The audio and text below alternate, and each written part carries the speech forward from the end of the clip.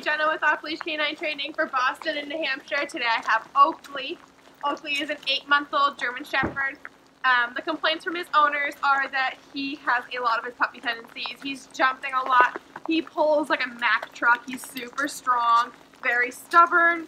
Um, they said that he has the attention span of a goldfish, so he doesn't really follow through with a lot of his commands. Um, and he has no concept of stay at all. So I'm going to show you guys what he knows now, and in two weeks I'll show you guys how great he is. Oakley, come. Oakley, come. Oakley. Hi, yeah, what's your name? Oakley, good boy. Oakley, sit. Oakley, sit. Oakley, come. Oakley, come. Oakley, come. Oakley, come. Good boy, sit. Oakley, sit. There it is. Good boy. Good, sit. No, sit. Oakley, sit. Good, boy. No. Down. Can you down? Oakley. Oakley, come. Oakley, come. Down. Down. Good, sit, good boy. Can you down? No? Good, Oakley. Heel. Heel. Oakley. Oakley, heel. Oakley, come.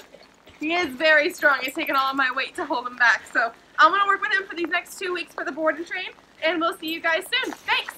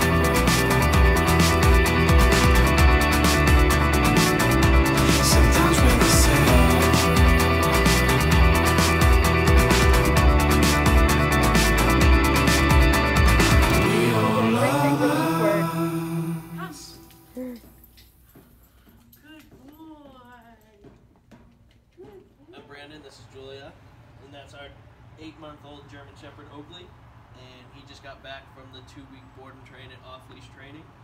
Um, as you can tell, Before- he's yeah. Before training, um, he was really insecure, very anxious, um, had a lot of separation anxiety, um, wouldn't go in the crate, destroy the crate. two crates. After, he seemed a lot calmer, a lot more confident, um, listening to commands a lot quicker, and just seems. Um, Not so much of it's hard to believe he's still a puppy. Yeah. Um, still has his great goofy personality. Um, what else? a. He's a good boy now.